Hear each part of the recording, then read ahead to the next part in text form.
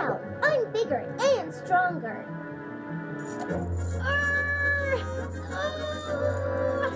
Now we're talking partnership.